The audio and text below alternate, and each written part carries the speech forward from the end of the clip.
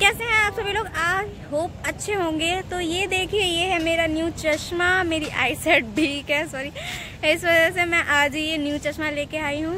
और मैं आज आपको दिखाने वाली थी, मैं अपना रील कैसे करती हूँ, पिछली वाली ब्लॉग में मेरा रील शूट रह गया था तो आज मैंने वो कवर किया है। और जो मेरे साथ के जो रीलर थे, वो तो नीचे ही भाग गए। अब क्या करूँ मैं? कोई बात नहीं, छोटी सी रील है, आप उसको एंजॉय कर सकते हैं।